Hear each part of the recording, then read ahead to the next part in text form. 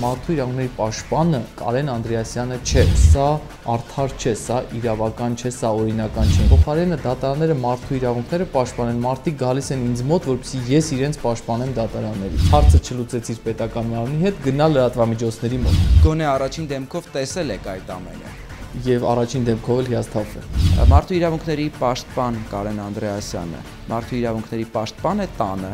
Դե վախենում եմ նույնիսկ այդ հարցին պատասխանել։ Հավատում եք, որ տանը դժվար թե ինձ որևէ մեկը բռնության ենթարկի։ Կիսաբաց լուսամուտներ հատուկ հարցազրույց մարդու իրավունքների պաշտպան Կարեն Անդրեասյանի հետ։ Այսօր երեկոյան բաց չթողնեք։